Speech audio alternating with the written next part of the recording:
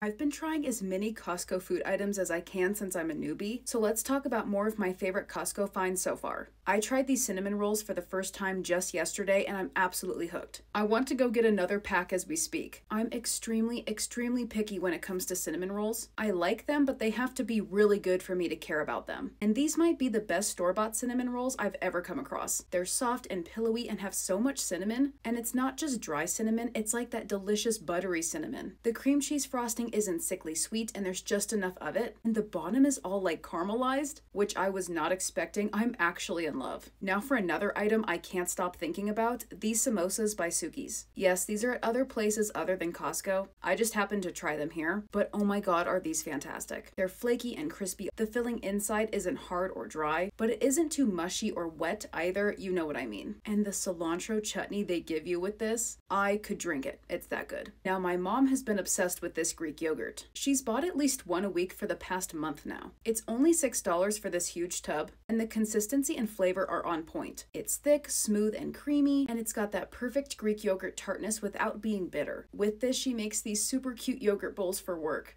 I love her love for this, so I had to share. And finally, the beef shepherd's pie. This is made with ground beef, not lamb, just as a heads up. It's got beef, au jus, burgundy wine, carrots, corn, peas, and onions. That's all topped with a layer of seasoned mashed potatoes. Honestly, this outdid my expectations. The inside was really hearty, it wasn't runny, and it had a really good rich flavor. And the meat was quality, I'm really impressed with this. So have you tried any of these finds at Costco? What's something I absolutely have to try next?